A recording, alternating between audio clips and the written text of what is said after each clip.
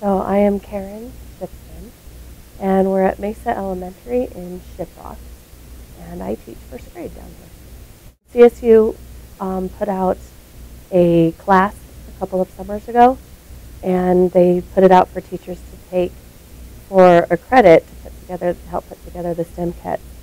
So I took the class, um, and in fact, she used us kind of as the guinea pigs to see how the lesson plans work to get our feedback on the lesson plans and putting together the kit.